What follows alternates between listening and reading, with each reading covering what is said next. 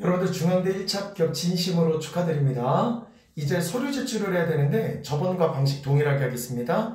하단에 링크 주소를 보내드리기 때문에 그 링크에 여러분들 핸드폰 번호, 이름, 메일, 그리고 기출의 점수들 이런 것들을 파악해서 기록을 해주세요. 그리고 어, 우리 담당 선생님께서 그 신청을 한 학생들에게 메일 주소를 남겨주실 겁니다. 그 메일 주소대로 이메일 보내주세요. 그래서 어, 거의 밤새 계속 첨삭만 합니다, 여러분들. 그렇기 때문에 여러분들 마감 기한 전까지 빠른 속도로 보내주셨으면 좋겠고, 단 하나 18일 마감 날인데 18일 날 메일을 늦게 보내면 답변 혹은 피드백이 늦을 수 있기 때문에 그때는 이미 늦어.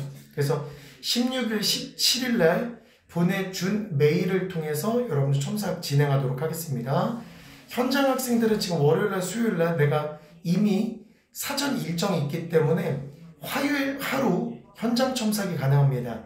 화요일 날 약속 잡시 화요일 날 약속을 잡았으면 좋겠는데 화요일 3시 반부터 강남단가 문 닫기 전까지 계속해서 첨삭을 해드리도록 할 계획이기 때문에 현장 학생들은 내일 화요일 3시 반에 현장에 오는 걸로 얘기를 하면 좋을 것 같습니다. 그때 첨삭 도움 주도록 하겠습니다.